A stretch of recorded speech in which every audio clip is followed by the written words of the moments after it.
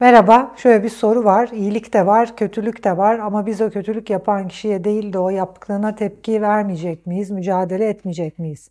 Şimdi bir kere bir, hakikat noktasından iyilik de yok, kötülük de yok. İyiliğin ve kötülüğün olmadığı bir bilinç seviyesi, objektif bilinç seviyesi. Çünkü hakikatin içinde iyilik de yok, kötülük de yok. İyiliği de gören yargılayıcı bilinç, kötülüğü de gören yargılayıcı bilinç, iyilik ve kötülük diye bir şey ultimate reality dediğimiz hakiki hakikatte yok. Dolayısıyla biz kendimiz bir takım davranışlara iyi dediğimiz için iyilik görüyoruz. Bir takım davranışlara kötü dediğimiz için kötülük görüyoruz. Ve iyilik ve kötülük görmeye devam ettiğimiz müddetçe o zaten alt bilinç, hayvan bilinci dediğimiz yer olduğu için hayvani şekilde dürtüsel tepki vermeye devam edeceğiz.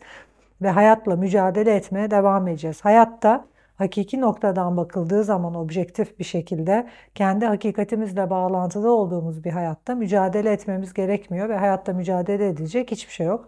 Çünkü hiçbir deneyimin hiçbirinden farkı yok ve ben eğer kendim olabiliyorsam kendim olmak için de zaten mücadele etmeme gerek yok. Çünkü kendisi olmak insanın en kolay şey. En mücadele etmediğim yer benim kendim olmam.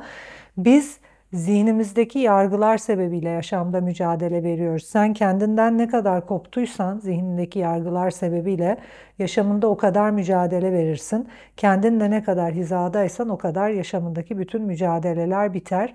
Yani zihninizde iyilik, kötülük, bütün bu yargılar olmasaydı mücadele etmediğiniz, sadece kendinizi deneyimlediğiniz, kolayca ilerlediğiniz, kolaylıkla hayatınızda isteklerinizin olduğu bir yaşamınız olacaktı. Benim gibi ve o seviyeye gelmiş birçok kişi gibi.